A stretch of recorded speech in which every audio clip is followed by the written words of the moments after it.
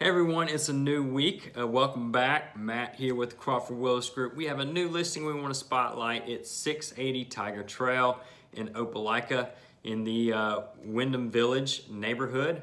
Um, beautiful two-story craftsman home. You're just a short distance from Tiger Town. Um, easy access to I-85.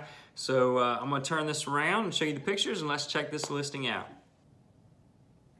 Beautiful two-story craftsman. Look at the cedar columns and shutters. Um, this is just a beautiful house. Uh, just wait until we get to the back covered patio here. Um, huge backyard, completely uh, fenced, uh, privacy fence all around, as you can see there. Um, beautiful white cabinets, hardwood floors.